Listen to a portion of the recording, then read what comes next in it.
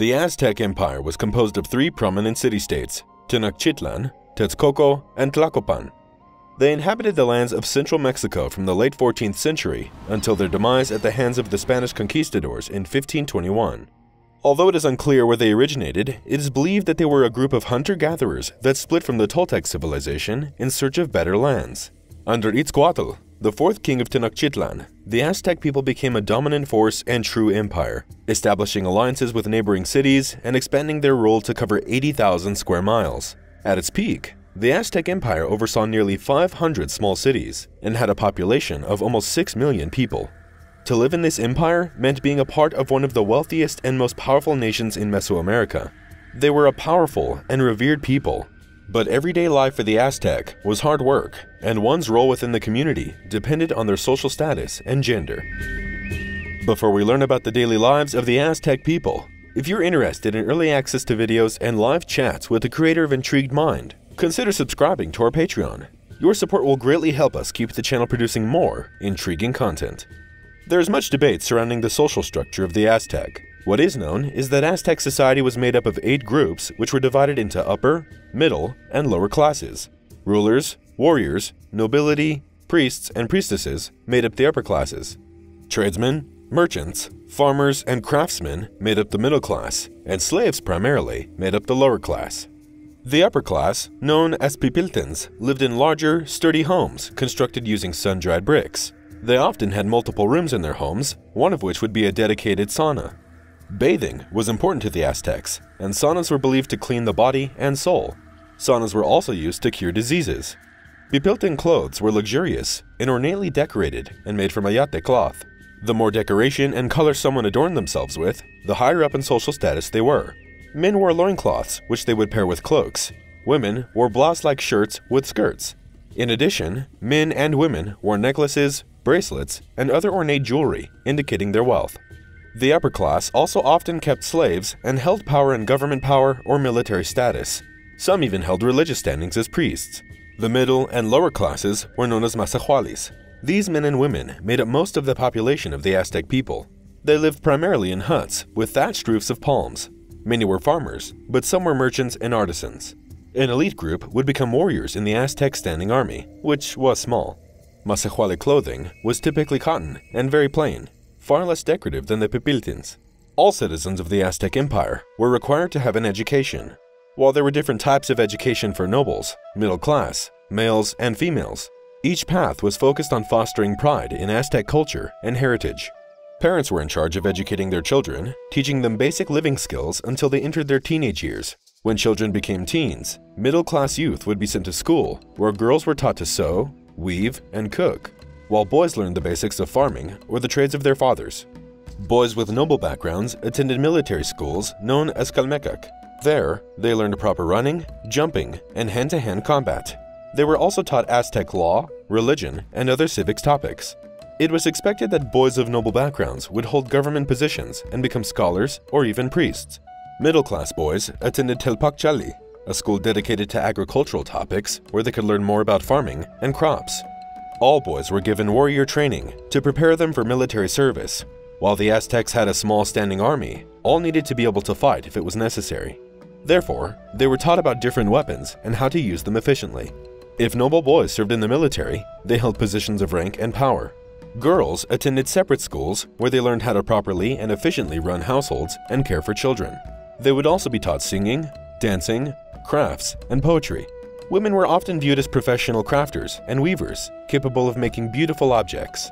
While many worked out of the home, they could also become priestesses, doctors, or sorceresses.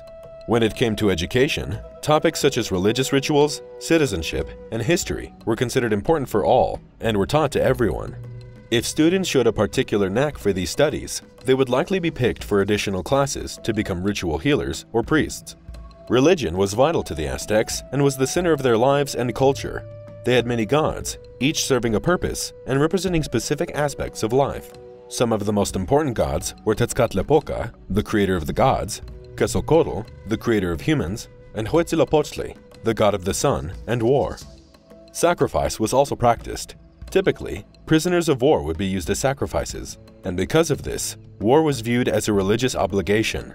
Often, Wars would be explicitly fought to gather prisoners for sacrifice. These were called Flower Wars. During the Flower War, Tenochtitlan and an enemy state agreed to fight one another. Both sides agreed to a predetermined set of rules. These wars were fought not only to gain sacrifices, but also to train young warriors in combat.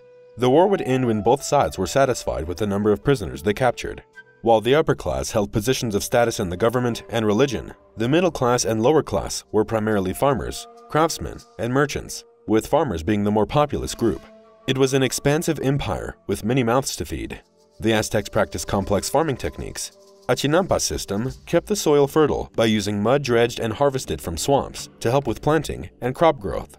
Farmers would place the mud they harvested on rafts made of reed that floated on the water. These rafts were held in place by trees or walls. They also used a terrace system of farming. Cutting into hillsides to create flat farm areas allowed them to utilize more land. Retaining walls were built to keep the fields in place on the hillside. Both practices helped grow beans, squash, nuts, potatoes, tomatoes, chilies, and even chocolate. However, their most commonly grown food was maize, similar to modern-day corn. Maize was versatile and could be made into flour, tortillas, and coarse grain. While lower and middle class diets mainly comprised fruits and vegetables, the upper class often ate meat from fish, ducks, turkey, and even dogs. In addition, insects such as grasshoppers, worms, and ants were also eaten as snacks for their high protein sources. For those who did not farm, becoming a merchant was an option. Selling and trading goods was a good living if one's father practiced a trade. Some merchants even traveled long distances and carried goods back and forth on their backs as the Aztec Empire had no large pack animals. Some Aztec people were skilled craftsmen and worked as metalworkers, featherworkers, and even potters. Families were often very close-knit. As such, divorce was illegal, but separation was permitted and could be legally obtained in many ways. Marriage, for men, happened around the age of 20, while women were typically in their teens.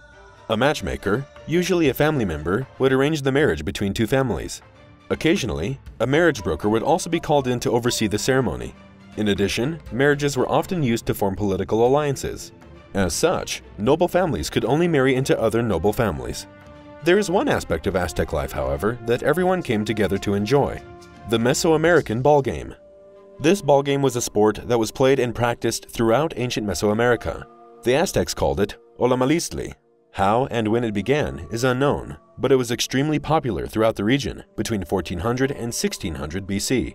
The game was played on a rectangular court with rubber balls weighing as much as 9 pounds. Two teams would face off against one another. These were usually city versus city matchups. The prevailing theory believes players used only their hips to get the ball through a stone hoop. It was extremely difficult. So difficult that if it happened, the game would be over the ball was never allowed to touch the ground, and players could not use their hands. In truly skilled matchups, the ball could stay in the air for over an hour without hitting the ground. The origins of the game remain a mystery, but it was played by the early American and Mayan civilizations as well, and the rules are still not completely understood.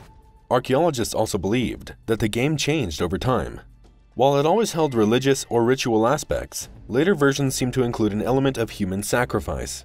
Modern versions of the game, now called Ulama, are still played in some indigenous populations throughout the Americas. These matches were sacred to the Aztecs, and if a city's team lost, it was devastating. Sometimes, the games were so politically charged that they would be used as an excuse for an attack or assassination attempt. The Aztec Empire was vast and unique, flourishing in central Mexico for centuries.